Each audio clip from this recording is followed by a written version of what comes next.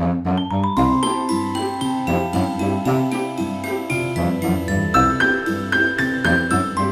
Çocuk Tiyatrosu yeni özgün oyunu Mutluluk Denince Akla ile her hafta Eti YouTube kanalında. Yeni bölümleri kaçırmamak için abone olup bildirimleri açmayı unutmayın.